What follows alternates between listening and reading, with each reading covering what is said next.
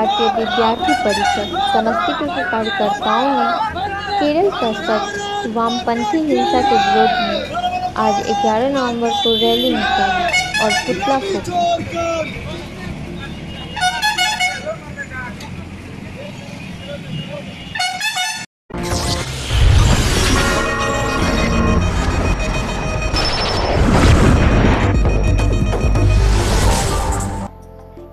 बीपीएसआरए की टीम ने आज 11 नवंबर को समस्तीपुर कैलाश इन होटल में प्रेस वार्ता कर 12 नवंबर को होने वाला वार्षिक सम्मेलन की जानकारी दी।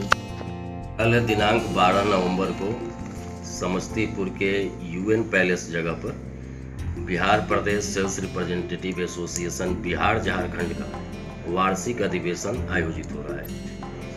इस अधिवेशन में हमारे बिहार, झारखंड के सारे नेतृत्व के साथ साथ 30 जिलों से हमारे जो सदस्यगण हैं, वो भाग लेंगे। इसमें इसके अलावा उद्घाटन के सत्र में तो हमारा जो ऑल इंडिया बॉडी है, national federation of sales representatives unions, उसके नेतृत्वकर्ता महामंत्री, उपाध्यक्ष, सचिव, कोषाध्यक्ष सभी उपस्थित रहेंगे।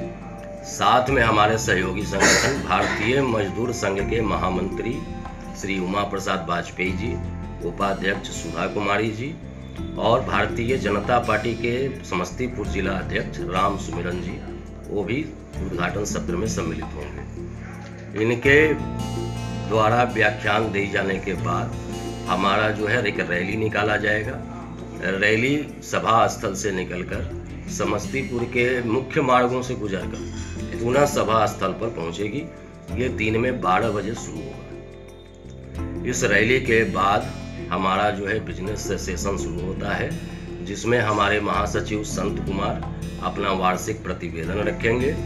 उसमें पूरे कामकाज की जानकारी और साथ में संगठन के आने वाले दिनों में क्या सोच और कार्य होंगे, उसका एक रूपरेखा रखा जाएगा। और आखिरी सत्र जो हमारा होता है, उसके अंदर कल ही अगले वर्ष 2018 के लिए हमारा केंद्रीय कार्यकारिणी का चुनाव होगा और उस चुनाव के साथ पूरा गठन होगा। ये हमारा कल का कार्यक्रम है। इसके साथ एक बात स्पष्ट करना चाहते हैं कि Bihar Pradesh sales representative association, Bihar, Jharkhand, sales और मार्केटिंग क्षेत्र में काम करने वाले सभी श्रमिकों के लिए एकमात्र गैर राजनीतिक, गैर कम्युनिस्ट संगठन है। और हमारा काम हर हालत में श्रमिकों का संरक्षण करना है, उनके हितों का, अधिकारों का देखभाल करना है, लेकिन हमारी सोचने की परिधि राष्ट्रवादी है। इसी विचारधारा के साथ संगठन काम कर रहा है और विगत तीन सालों से हम लोगों ने हर क्षेत्र में 25 परसेंट से ज़्यादा ग्रोथ के साथ काम किया है और इसी तरीके से और कारगर काम करने की योजना है।